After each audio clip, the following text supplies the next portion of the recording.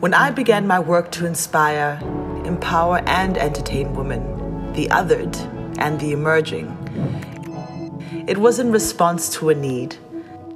A need to take a stand, not just for me, but for us. I curate experiences for the creative community. Three words to describe Nandi big picture thinker. Nandi has played the role of a big sister in my life. She has ambition, she's business savvy, with inspiration on how to be true to yourself. I've shaped my world by being a risk taker, a rule breaker, and a change maker. I'm Nandi Dlepu, and I shape my world. How do you shape yours?